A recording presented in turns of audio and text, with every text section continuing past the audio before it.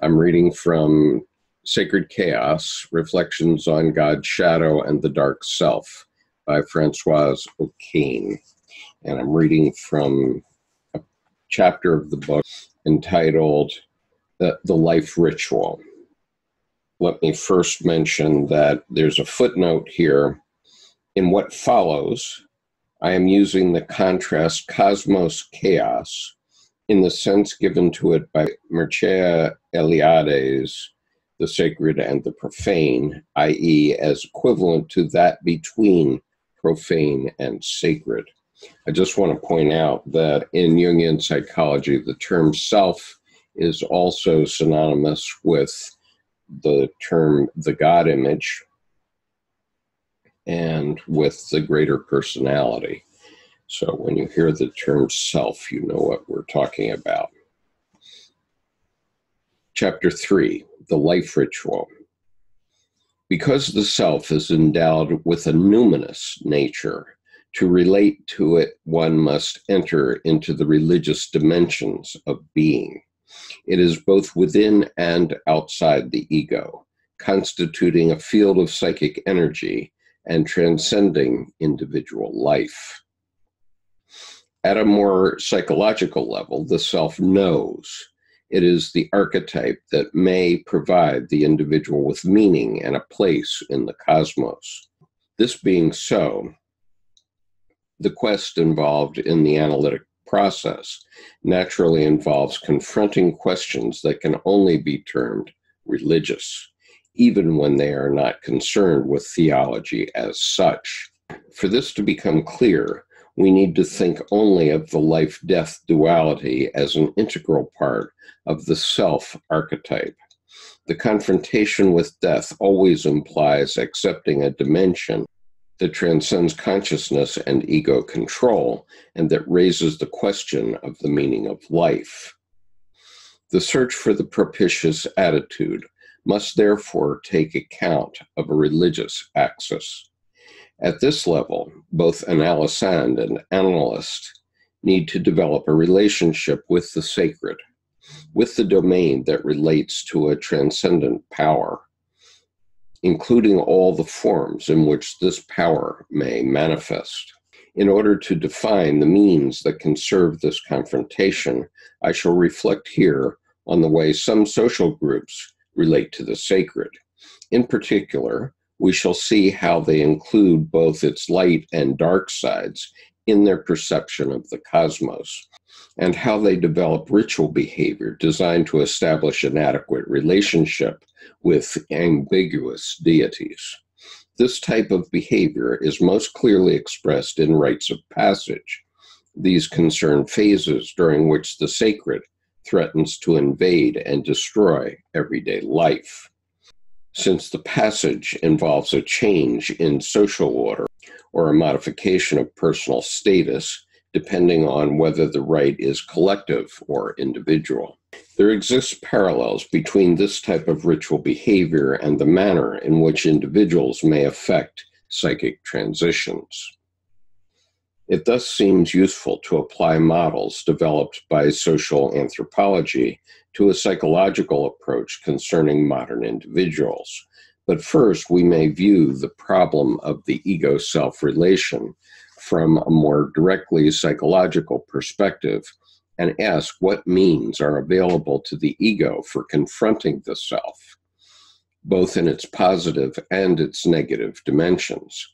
I could, of course, simply comment on Jung's ideas concerning the confrontation with the unconscious. This would include, among other things, a discussion of the transcendent function and of the ways in which it manifests in symbols and in dreams.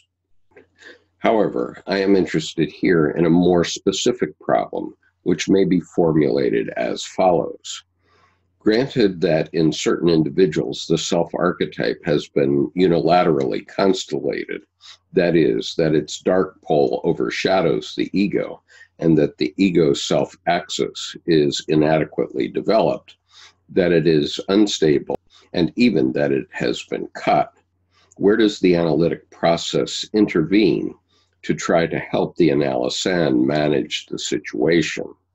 In my experience, work on dreams and personal symbolic material is often not possible at this stage, or it does not help. In despair, the ego is either cut off from the unconscious or overflowed with negative material. It often cannot relate adequately to the symbols and may refuse to be touched emotionally. In this phase, it may thus be of help to use less personal material, encouraging the ego to step back and letting symbols emerge at a more transpersonal level. In the same sense, the whole analytical setting must encourage a passage through chaos, see below, into an imaginary world that is closer to deep layers of the collective unconscious. Through this passage, a bridge will gradually be built, connecting the analysand with a more basically human level. The contact with archetypes may then give back to the individual psyche a sense of being in the world, of being part of a larger cosmos. Later in the process, this emotional experience can be brought closer to consciousness and to an ego that will have rediscovered its connectedness with the self. In other words, in cases where the ego self axis is lacking enough stability for a dialogue between personal conscious and unconscious, the analysis must first help the analysand regress in the sessions to the deeper levels of the collective unconscious, where he or she may be nourished and strengthened by the self. This will allow the axis to redevelop progressively, and a dialogue between its two poles will become possible, allowing the analysand to confront more personal material. Speaking more generally, individuation may be seen as a movement toward a greater awareness of the self through the different stages of life, the ego constantly moves along what may be termed a self self axis. That is, from a totally unconscious self that preceded the stage in which the ego detached itself, ego self axis, to a more conscious self. Conscious being meant here as aware in an existential sense. However, the movement toward greater self awareness is not a linear progression. The ego periodically regresses toward the original self in order to bring back more elements from the collective unconscious. It is this movement that I believe analysis must accompany and guide. In every case, but when dark aspects of the psyche are constellated, this return to chaos becomes all the more essential. We shall see below how this return is affected by tribal man, for instance, through ritual, and what the corresponding psychic mechanisms may be. Imaginary representations. The title of this chapter, The Life Ritual, was chosen to express the central symbolic meaning in a short story whose motifs symbolize the way the ego may relate adequately to a transcendent dimension of life to the self. In the story, a specific endeavor allows a moment of life to be created. Here is a summary. Quote, a teacher working for a short time in a countryside school notices that one of her students, a little boy about 10, does not listen to the lessons. He daydreams and spends his free time writing in a copybook, which he refuses to show her. He also won't let her talk to his parents.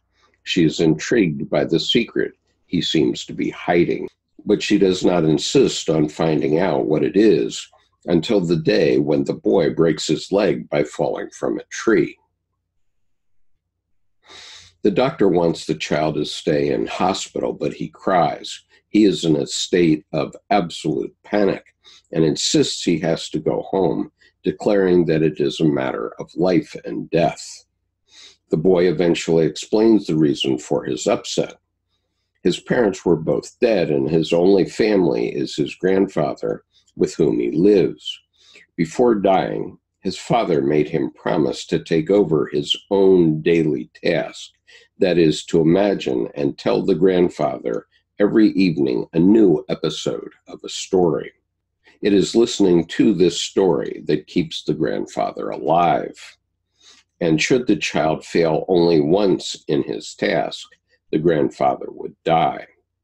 Up until this day, the boy had conscientiously carried out his duty despite the isolation involved by his not being able to tell anyone. The teacher promises to take the place of the child if he stays in hospital and invents a new episode for the grandfather, thus keeping him alive for another day. There's a footnote here from a British television series, The Journey to the Unknown. The name of the author is not known, nor is the title that was given in the series. Clearly, the story has a folktale like character, and indeed, one may find its pattern as a secondary motif in the index of the types of the folktale by A. Aarne and S. Thompson. There, a person who is about to be taken away by the devil, to whom he or she has sold his or her soul, tries to gain time either by repeating a prayer or a story or by baking bread. A similar motif is found in 1001 Nights. Having witnessed his beloved wife's adulterous behavior, the Sultan Shahryar goes mad and kills one maiden after another after they have spent the night with him. Scheherazade, the vizier's daughter, tells him archetypal tales, one every night. She is careful never to finish the story, and thus, by sustaining his curiosity, keeps postponing his revenge until the next day. The parallel with our story is clear. Death is being postponed by an act that feeds life at a concrete or an imaginary level. In the Sultan's case, the tales even succeed in progressively healing his murderous impulses. After a thousand and one nights, he finds that he has no longer any need to take revenge. I see the story of the child with his grandfather as symbolizing a manner of approaching the dual nature of the self, of relating to the archetype at all by granting it its proper place in everyday life. In fact, the relationship between child and grandfather, their mutual dependence, and the solutions proposed by the narrative leave many questions open, but paradoxically, the use of an image to formulate a fundamental question already contains the germ of an answer. This approach is close to the transformation elaborated by the formulation of a rite. Ritual work structures the chaos of being and thus modifies it, rendering it more accessible. As seen from a psychic viewpoint, the daily story imagined by the child and fed to the grandfather plays a specific role. It bridges elements belonging to both the conscious and the unconscious, and, at a more general level, to the ego and the self. Its function is akin to that of a ritual. Whether he considers the time spent every day in storytelling as a rite or not, the child's imagination brings into the grandfather's life elements that can only be collective or superpersonal. His stories have been told before. He cannot invent anything new. They allow the grandfather to remain connected to humanity in general, transcending his own individual fate. They keep him in touch with that part of the self which is not only personal. I use the term imaginary representation to express the capacity of such a story to mirror a different reality and thus to serve as a bridge connecting ego and self. The imaginary world is transpersonal, constituting a fluid, eternal source that transcends individual life. Its images, on the other hand, find an echo in the individual's personal life experience and in the time bound perception of reality. Of course, the word symbol may also be used in this context. The tale told by the child will contain a succession of symbols it will both express and impress, transforming energy and channeling it into a new form. But I use the other term in order to set it between the profane and the sacred, between linear and nonlinear time, as well as between directed and autistic thinking. What I mean by imaginary representation is the individual's active reception and physical or mental participation in images that are not a product of the ego only. No matter what means are used to do this, the images must be experienced emotionally rather than intellectually. Their energy must touch the ego and provoke an effective reaction that will be a source of change. We shall see, for instance, storytelling may work in a similar way to the way rituals work by guiding the individual through a symbolic liminal period into a new state. Henry Corbin wrote the Mundus Imaginalis, quote, there is a world that is both intermediary and immediate, the world of the image, the mundus imaginalis, a world that is ontologically as real as the world of the senses and that of the intellect. This world requires its own faculty of perception, namely imaginative power, a faculty with a cognitive function, a noetic value, which is as real as that of sense perception or intellectual intention. Unquote. James Hillman describes this imaginary world as a means of connecting with the archetypes, on the one hand, but also as a bridge toward a world in which the value of symbols results from their providing the individual with a cosmic grounding. In stressing the term imaginary representations and the importance of an active individual formulation of their contents, I am more interested in the pragmatic aspects of analytical work and less in the metaphysical, and up to a point socio political questions raised by Hillman. Let us go back to the child and his grandfather. The story contains two axes, time and imaginative power, and describes how the second works on the first, that is, how the ego may be able to apply the second in order to work on the first. To express this less abstractly, we can say that the child, by adding an episode to the narrative each morning, performs a ritual whose function it is to structure time and to create life. The ritual, made into a tradition by his family, allows a passage from profane personal space to the sacred by transforming time, creates a moment of life. On the other hand, the story does not mention the possibility of the grandfather living eternally.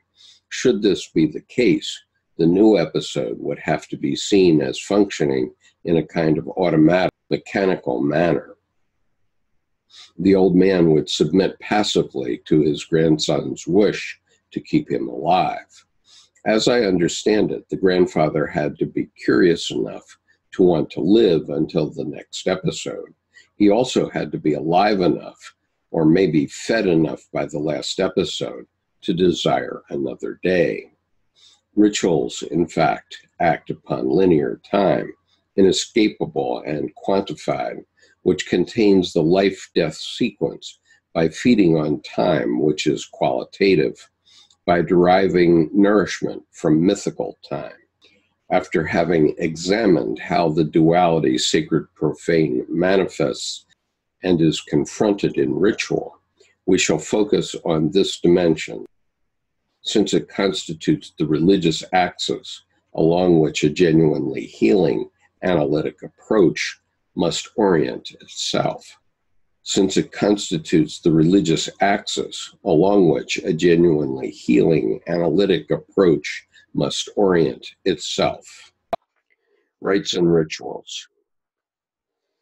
The expression rite de passage has been very much popularized and sometimes applied in a loose manner.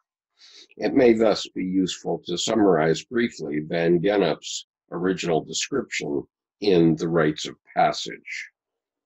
At the core of such rites is a triphasic scheme separation, liminal phase, and reintegration. This simple notion reveals essential aspects and remains applicable in the case of any ritual ceremony, since Van Gennep was explicitly more interested in describing forms rather than contents. Yet almost every theory of ritual has been influenced by his description.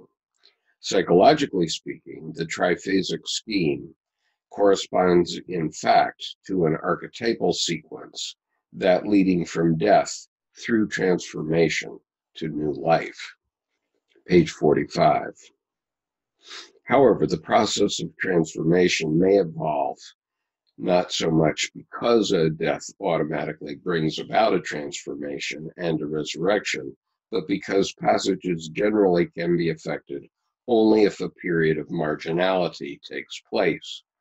During the liminal phase, a reality that is outside society and culture and outside ego life is experienced. Deep values and emotions are brought into the open, put on a ceremonial stage, and expressed in such a way that they may be accepted by the participants.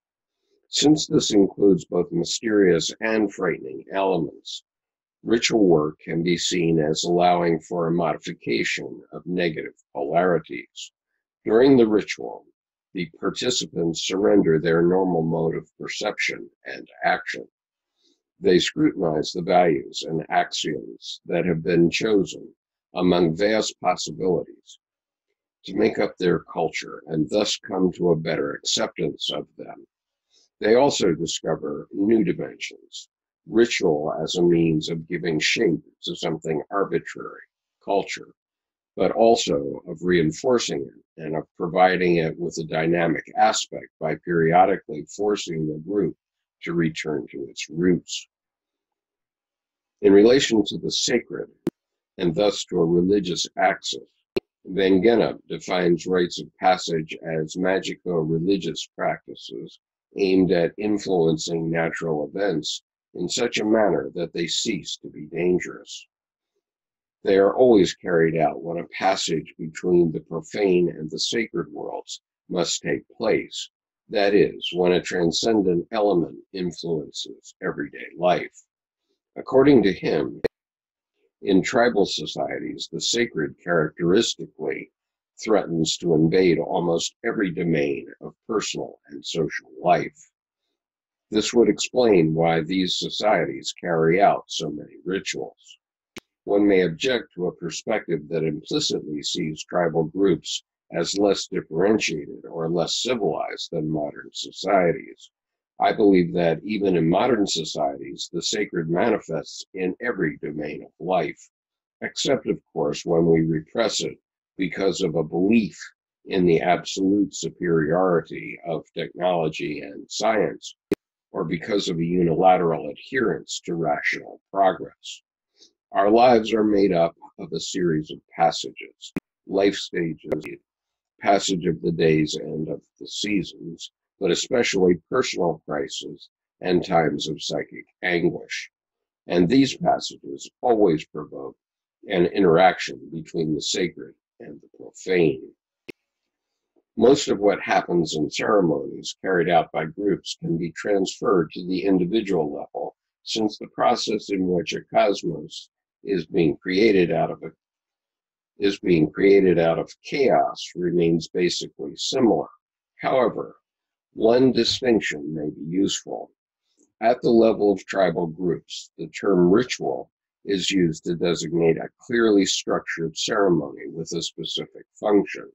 With regard to modern individuals, the movement, profane, sacred, profane, becomes part of a more personal quest and follows a rhythm that is not necessarily dictated by the group.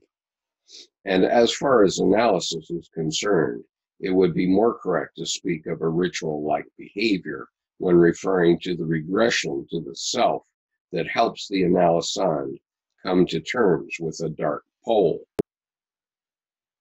Yet, both for the group and for the individual, the passage through marginality involves contact with a religious dimension. Myth and ritual are closely interrelated. That is, the myths that are particular to a certain tribe are enacted in the ritual. Thus, a given ritual is both a declaration about religion, this is what we believe, and a demonstration of its operation. This is how the gods work. In order to reach its aim, it proceeds in a very specific manner. During the ceremony itself, the threshold people, that is, those going through the liminal phase, are moved outside the social and cultural network, and therefore they escape classification. Their ambiguous and indeterminate position is expressed in a variety of symbols. A brief examination of some of these symbols, together with a description of actual contents found in the marginal phase, will provide a better understanding of the mechanisms involved at the group level. By analogy, it will also show what may happen during the phases of the analytic process in which the ego regresses toward the self. The novices are taken away from the village, speak in a secret language, and must respect specific taboos. They may be classified with the spirits of their ancestors and painted black. They return to a cosmic state, letting their hair and nails grow and covering their body in mud and dust. They lose their identity, are robbed of their clothes, and give up the name they had as children. Sometimes they are not allowed to speak, or only in a low voice. Other members of the tribe quite often the women, are not allowed to see them. They are said to be embryos or babies and must learn to walk, talk, or eat again. The spirits must give birth to their new personality, so they are given a new name. There is a constant coexistence of life and death symbols. The novices may be perceived as androgynous or simultaneously human and animal. They are submitted to painful or frightening tests. This makes them malleable, ready for recreation. During the whole marginal period, they are taught practical skills and esoteric knowledge. The ambiguity of the liminal period is underlined by the presentation of symbols that invert daily reality. The material world is turned upside down. This phase contains elements of playfulness and license. Everything becomes possible. The usual norms do not apply, and behaviors that potentially exist in everyday life may be experimented with. The novice must have confronted the chaos of the sacred to be able to accept the profane. And so the rituals are organized in such a way that instead of eliminating the dangers inherent to a period of transition, they let these be shown and experienced very concretely. For a brief period, the novice experiences the paradoxes of primeval being, like the Eskimo initiate, contemplating his skeleton, reduced to his own bones. The very foundations of life are systematically put in question.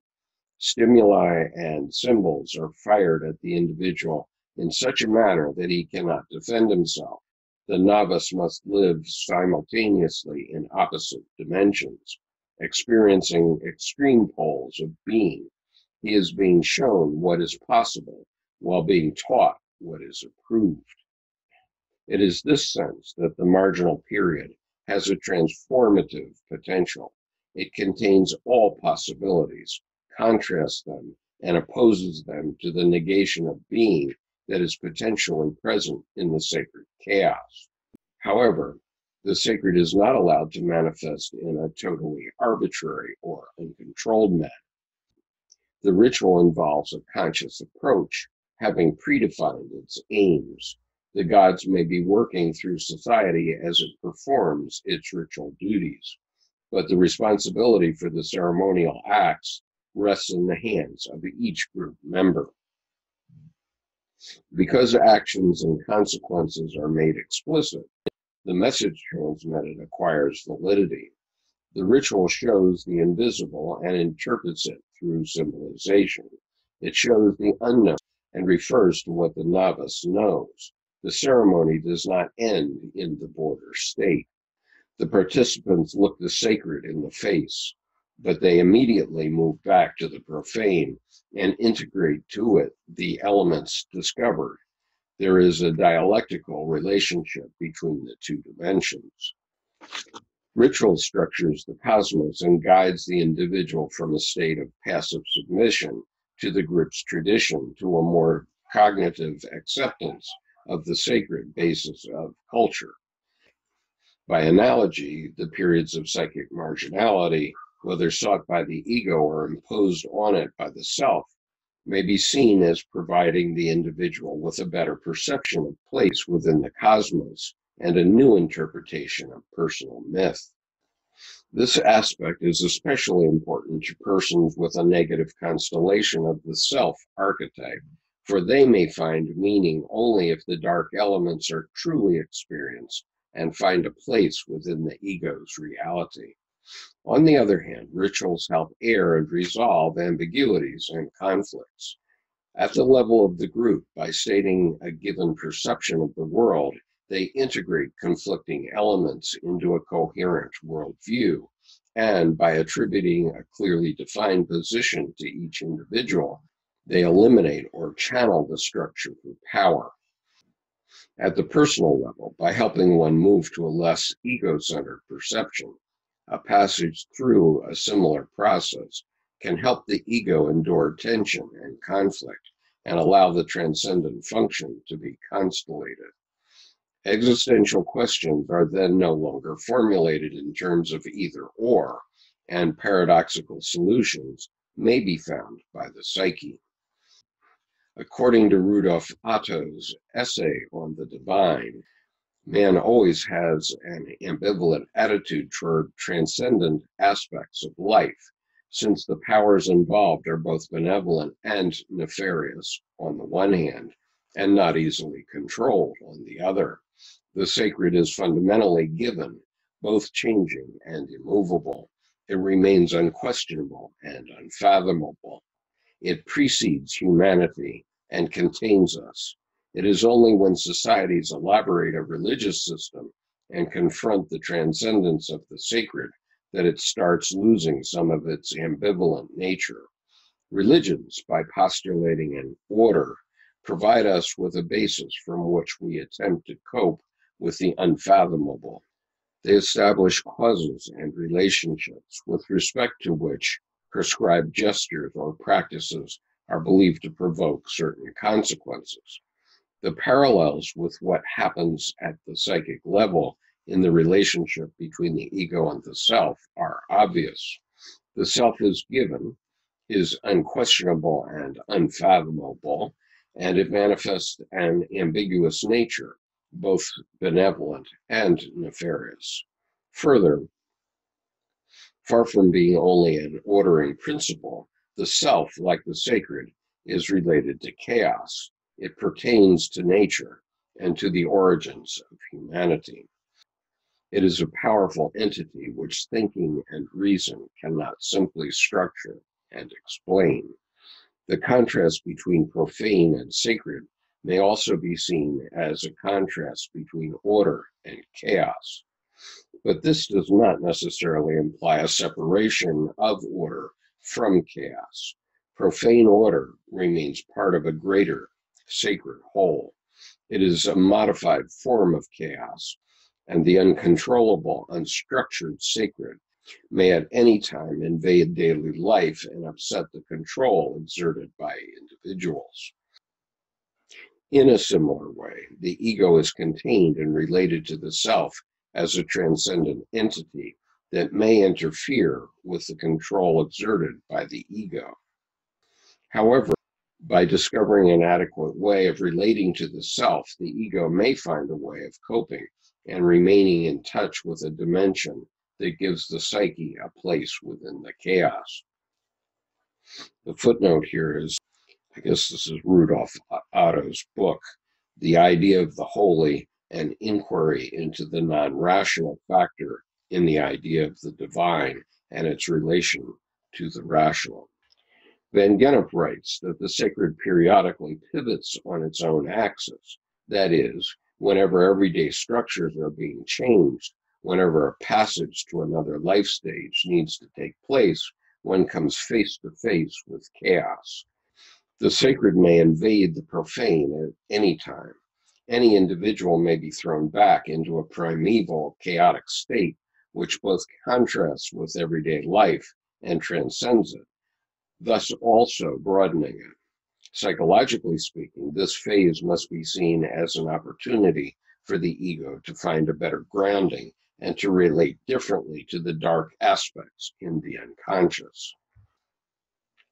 This ethnological digression may already have taken us too far from our topic, but there are striking parallels between the manner in which a tribal group finds the means to survive in a threatening cosmos and the way in which Jung sees the individual attempting to confront fate and move along the path of individuation. With regard to the confrontation with dark aspects in the self, the marginal period involves these aspects to a very great extent, and the novice must experience their power in an extreme form before being able to move on to the new stage. This dimension is particularly clear in shamanistic rituals. There, the novice must explicitly experience death, destruction, and chaos. It is probably no coincidence that over the past few years, so called civilized people have rediscovered the form of initiation offered by such rituals. Indian medicine men are brought to Europe since Siberian shamans are not available. Why this fascination? One possible answer may be found in the way our societies repress darkness. Some individuals instinctively feel a need to compensate for this tendency and to experience the other pole in a dramatic manner. However questionable the organized mimicry of alien culture forms. The life ritual story recounted earlier in this chapter does not describe the manner in which the rite is carried out, except to say that the child has to narrate a new episode every day. On the other hand, his stories are not specifically connected to the dark but to the self in all its aspects. Yet he does accomplish a ritual act dictated by a family tradition, repetitive and endowed with a specific function. In order to continue to live, the grandfather must be fed by his grandson's stories. If I imagine the scene taking place every night, I see it as surrounded by a serious ceremonial atmosphere. It is not a sad event, but one in which both participants are aware of the importance of the moment, sacred time, and psychic reality. Eugene Bleuler defined a form of thinking that he termed autistic undisciplined or non objectivating, and of which he wrote that it tends not to adapt to reality and that it follows the logic of feelings. Later he added, quote, among other things, it also serves to fill those gaps in our knowledge that we perceive as frightening. It uses symbolism and drama in order to help us confront our inner conflicts and thus helps us toward a greater inner maturity and harmony.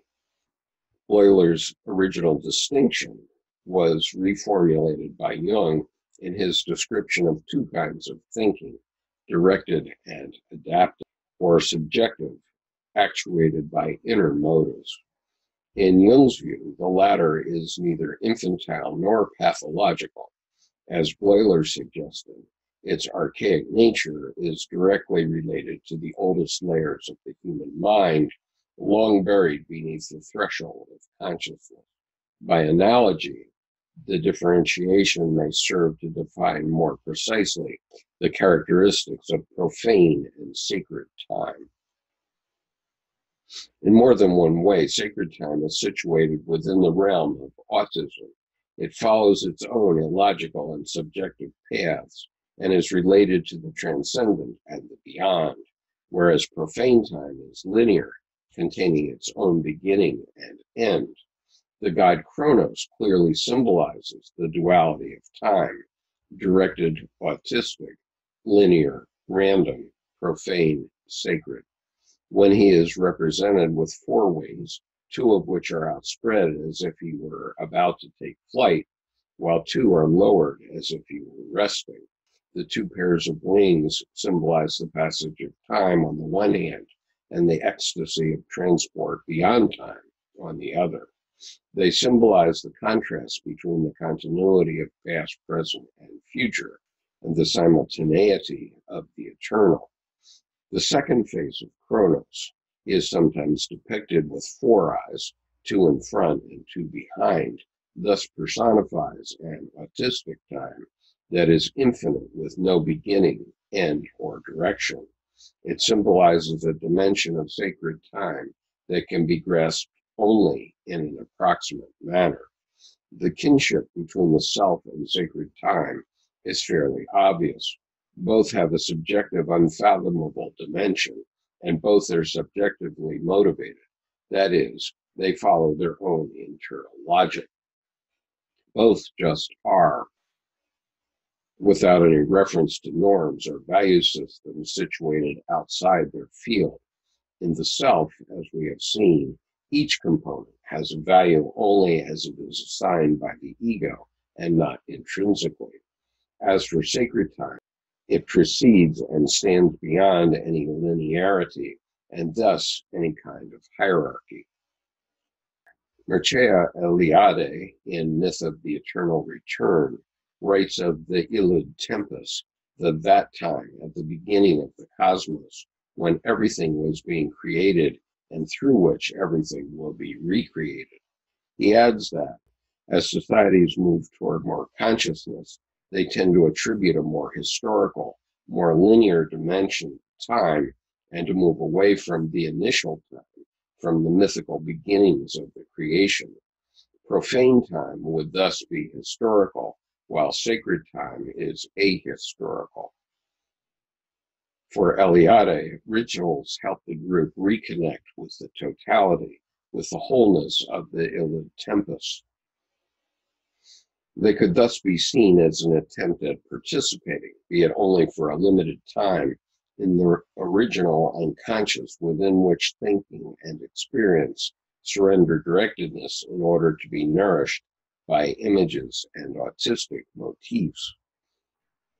Put otherwise, rituals are a means of contacting the divine child, Jung's initial terminal creature. The contact with sacred time and its images also provides the individual with the means to participate in a superpersonal, eternal psyche. This participation, this eternal return through ritual to mythical origins, provides us with the knowledge that we are not alone. It thus allows us to face the dark aspects of the sacred and of the self without suffering more than necessary and without the pain provoked by isolation. We are supported by the awareness that many others have had this experience. Let us go back to our fantastic story as an image of the way in which a return to the Illud Tempus may be affected and may bring about a renewal of life.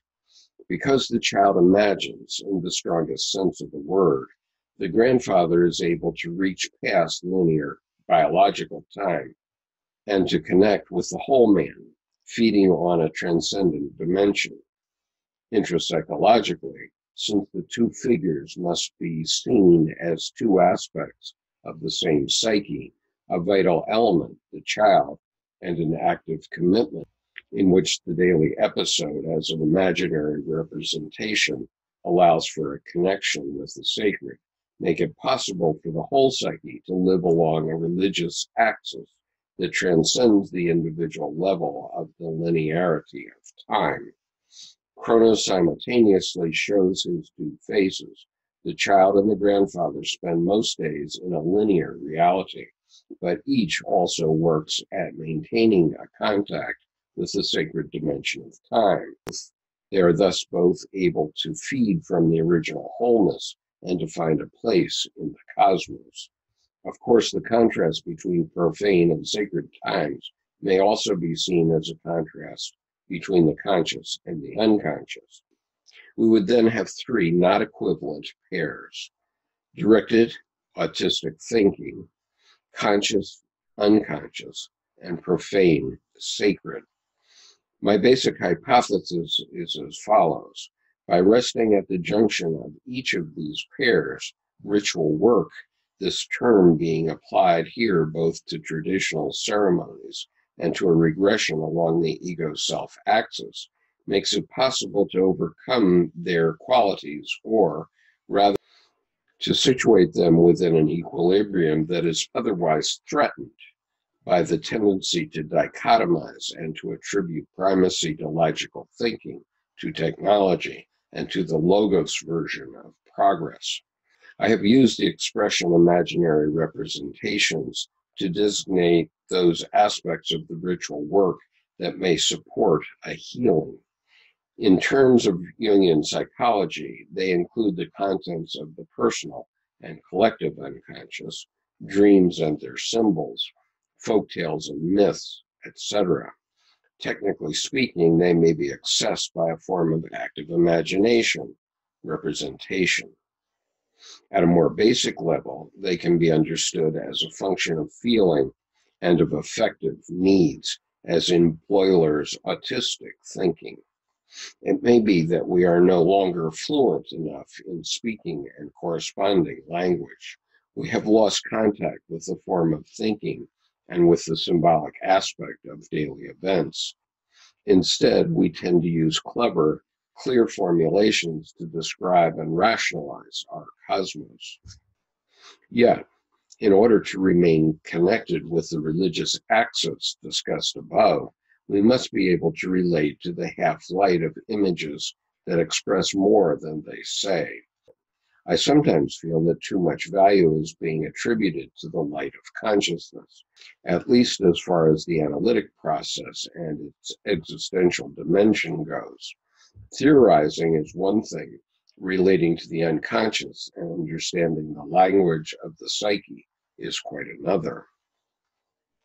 Jung was searching for an equilibrium between conscious and unconscious, or even was pleading for a reevaluation of the unconscious. It seems to me that it is dangerous to put too much stress on aims such as broadening consciousness, for this risks telling dreams what they mean rather than listening to their message and watching the ego's emotional reaction. What is more, we analysts sometimes create an artificial border between conscious and unconscious by isolating the symbolic material that crosses our path, by treating it within a closed system of interpretation. In other words, we may, paradoxically, dichotomize too much the pair conscious unconscious. Further, I believe that we tend to concentrate too much on explaining and interpreting, as if this were the ultimate aim of analysis, while the need of an analysand may be just as much to reconnect with the marginal characteristics of the sacred and the unconscious. We need models for thinking about the analytic process and structuring it. However, what happens within the process must be of an emotional and existential nature, and at this level, explanations and models are useless. What is more likely to bring healing is a transference countertransference relationship, allowing the analysand's ego to connect with psychic reality, and in particular with the original chaos in which one's individual cosmos may be re anchored. This vital process cannot be contained within a rational vocabulary. Its verbalization may even inhibit the emotional reaction that are essential both to the transference countertransference and to the passage through a marginal phase outside the ego world. Michael Fordham writes that archetypal reactions form the basis of the analytic technique. Archetypes, in a Jungian sense, are obviously an integral component of the sacred time that renews the profane, and of Hillman's Mundus Imaginalis, Fordham's archetypal reactions are thus a means of contacting and relating to this time in both its friendly and nefarious dimensions. The sharing of the transference countertransference relationship provides the analytic process with a liminal dimension, and this is particularly important with regard to the confrontation with the dark self. Under the analyst's guidance, the analysand can pass from a personal to a transpersonal level, away from a feeling of being isolated and into a more generally human experience. Instead of being a prisoner to the contrast between his or her own suffering and the norms of happiness defined by society, the analysand is able to return safely to the very source of his human sorrow, to the dark and threatening dimensions of being. If we accept that marginality allows the rites of passage to achieve their aim, then we should be prepared to accept that healing will, of necessity, involve marginality. Healing thus involves the reversal of profane reality and the return to another time characteristic of that phase. Moving away from the profane implies moving away from its norms and from a collective ego perception of reality. It is so wrong then to postulate that it is by deliberately swimming against the current, by refusing to be influenced by collective norms of progress and transformation, that the individual may be healed. It is by accepting the dark, the ugly, the sick that we may succeed in being faithful to the true nature of the soul. And we need to accept chaos so as to maintain a contact with the sacred and thus with the religious axis indispensable to a healthy psychic vitality. More generally speaking, a passage through the liminal aspects of the unconscious provides an experience that is essential to individuation. According to Jung, the individual stands between the conscious and the unconscious part of the collective psyche. Individuation should not be taken to mean only becoming more oneself and going, so to speak, against the collective. It also involves fulfilling a function within that collective, finding a place there. Quote, Every mental or moral individuality differs from all the others, and yet is so constituted as to render every man equal to other men. Every living being that is able to develop itself individually without constraint will best realize, by the very perfection of its individuality, the ideal type of its species, and by the same token will achieve a collective value. Unquote. As we have seen, the function of rites is not only to make the sacred chaos less dangerous or less painful. Ritual action is also a search for the nourishment and renewal provided by the superpersonal wisdom of the sacred world. This element is clearly shown, for instance, in the biblical story of Jonah's journey in the whale.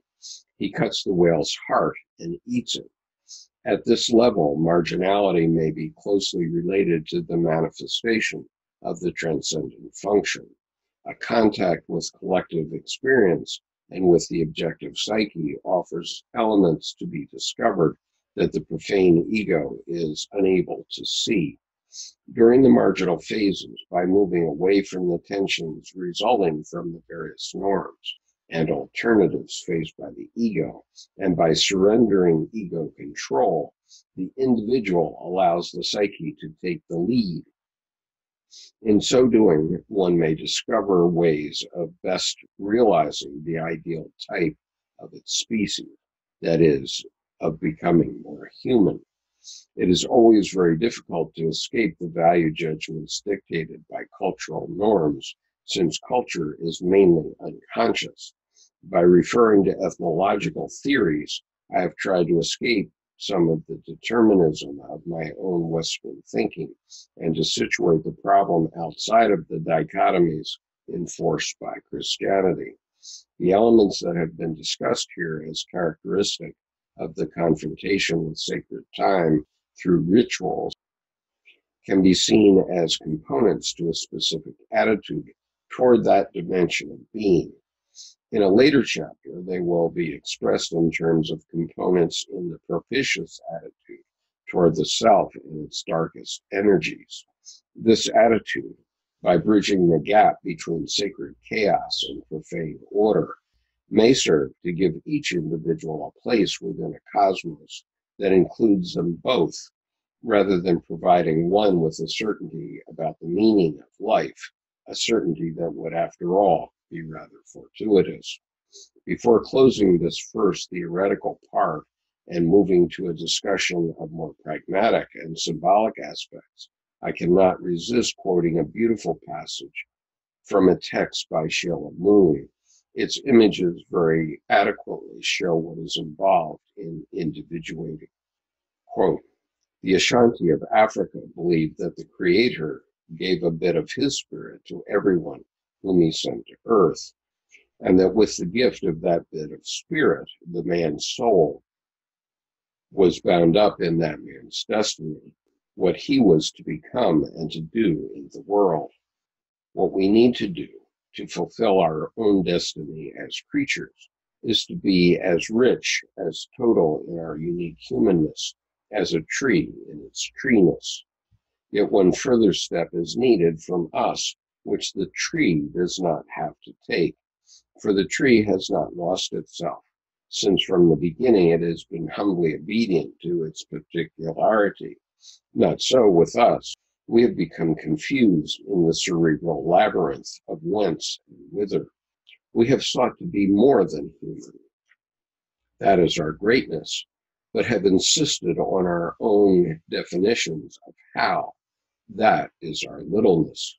If we can but learn, as this myth shows, the simple and hard lesson of emergence, of going into the darker places to follow the restless longing upward, of letting no small things stay forgotten and honored, then we shall be related to the unconscious powers within us of life and God. This is our redemption. Unquote.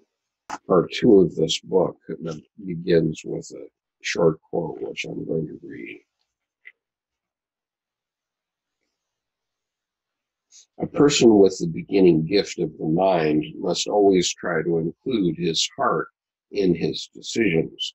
A man can live out his entire life without ever finding more than what was already within him as his beginning gift. But if he wishes to grow, he must become a seeker and seek for himself the other ways.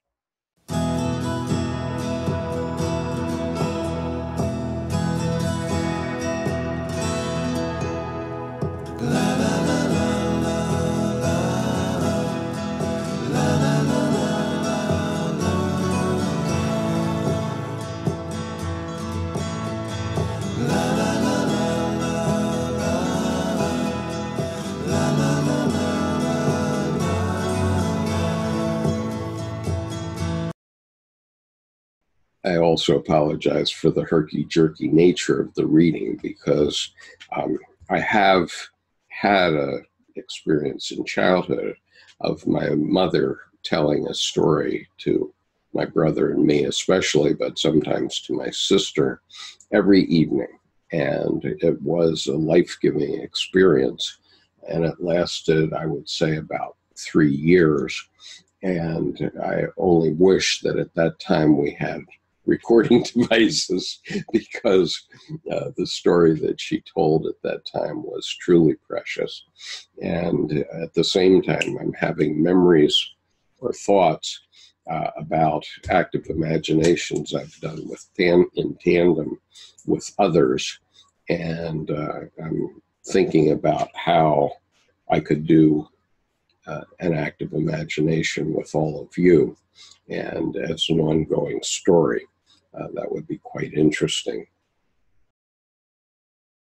Rose says, What is profane?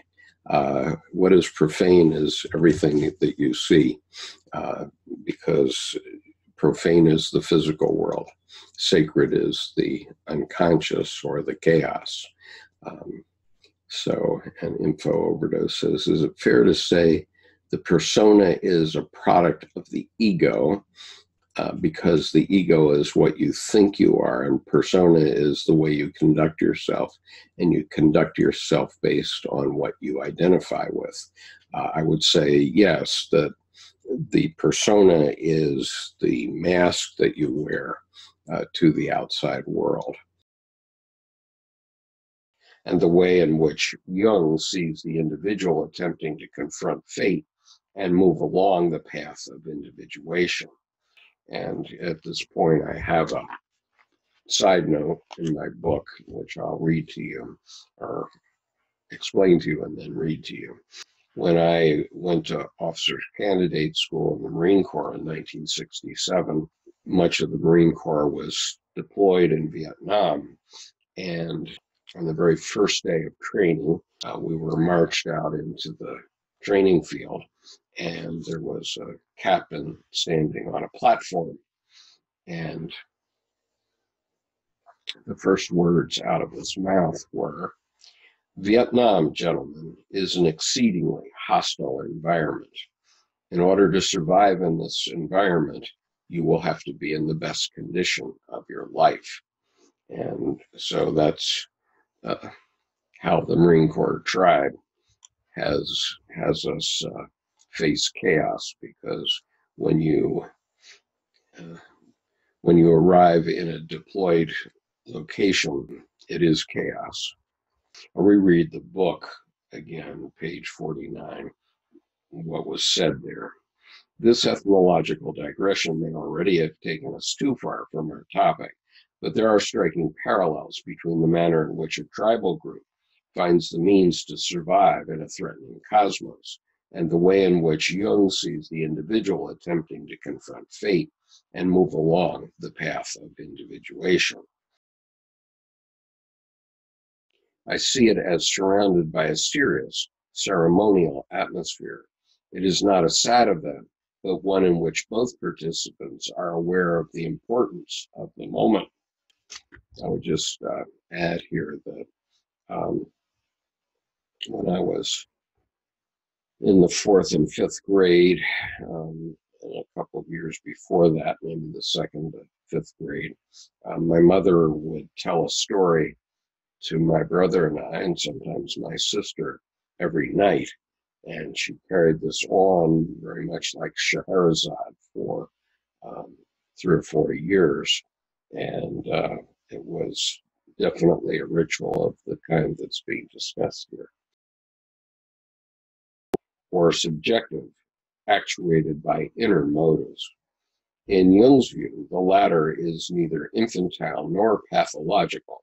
As Bleuler suggested, its archaic nature is directly related to the oldest layers of the human mind, long buried beneath the threshold of consciousness. By analogy, the differentiation may serve to define more precisely the characteristics of profane and sacred time. And I'll just give an example. Um, if if you're directed thinking, you can expect everything, but if if somebody throws a bat at you or throws throws something at your head, and you naturally reach up and either protect your face or catch it, um, that is adapted inner thinking that comes from the deepest part of the unconscious. I have in my notes on the side of this page uh, the Last Supper or the Eucharist. They could thus be seen as an attempt at participating, be it only for a limited time, in the original unconscious within which thinking and experience surrender directedness in order to be nourished by images and autistic motifs. But otherwise, rituals are a means of contacting the divine child, Jung's initial and terminal creature. And I'll just give you the footnote here. The divine child is discussed in Psychology of the Child Archetype, The Archetypes of the Collective Unconscious, Volume 9I, paragraphs 259 and following. And if you're a regular member of this uh, reading group, you can certainly find that reference. May serve may serve to give. Sorry, I didn't quite catch that. uh, Could you please repeat it? I do not know why my Siri just speaks out, but I will. Let me go back here. Good Lord. I'm going to start that chapter, that paragraph again. We're almost done.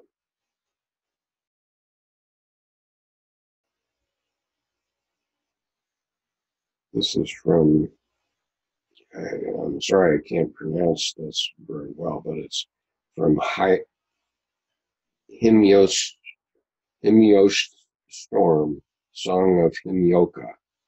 I don't know what the origin of that is. But anyway, that is my reading. And um, I will just observe that what I've been reading really, in my view, sums up our duality in the United States right now. And it applies to both sides of the duality equally. And so we all need to, we're all, we're all stuck in this marginal place right now, which is expressed every night by the three main cable networks. And so I think it's important for all of us to consider that point and try to find out where the balance is appropriately because in the in in the end we're all Americans um, and we have to find the balance between our brethren and sisters. And